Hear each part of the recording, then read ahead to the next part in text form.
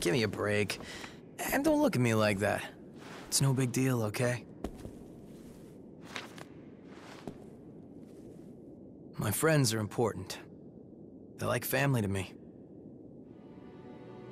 My friends were all scattered after the Great Collapse. I don't even know if any of them survived.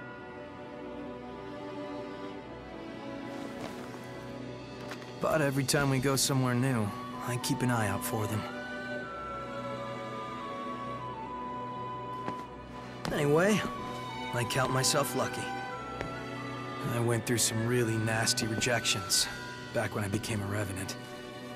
Honestly, I was right on the brink of losing myself. It was my friends that pulled me back, kept me safe. Bunch of sentimental fools. I'll keep him safe.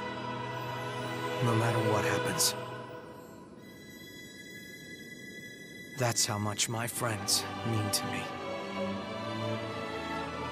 And now I've got three more sheep to look after. A man's work is never done. So just don't worry about it.